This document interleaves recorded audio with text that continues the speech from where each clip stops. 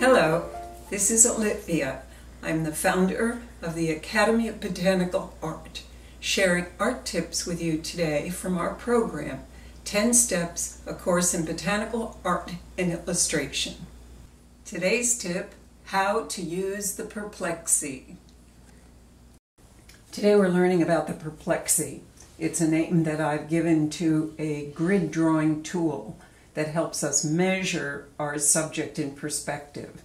This is not a unique concept. It comes from the 15th century. Uh, Leon Battista Alberti from the 15th century, a mathematician and an architect, he came up with what was called Alberti's veil. It's exactly the same concept. And in this particular, the use of this particular device is to put the subject behind the perplexi grid, as we can see.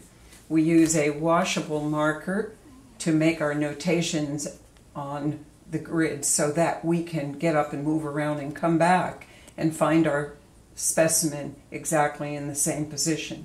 In order to do this correctly, you need to close one A, and then you proceed with a series of steps that help you arrive at the finished piece.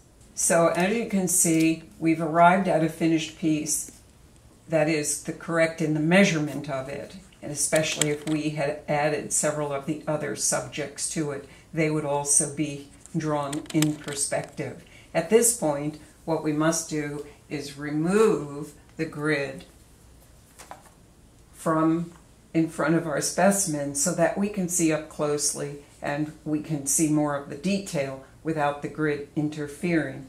We take our finished template or what's called cartoon from the 15th century and we transfer it to a piece of drawing paper or a piece of watercolor paper with the use of a light box or even a window, a glass table perhaps, with a light underneath it. And once we transfer it there onto the good paper, then we can proceed to complete either a graphite drawing or, in this case, a watercolor painting. So you can see this is not exactly the same subject, but it's the same idea. Thank you for joining us. To learn more about the Academy, visit us online, academyofbotanicalart.com.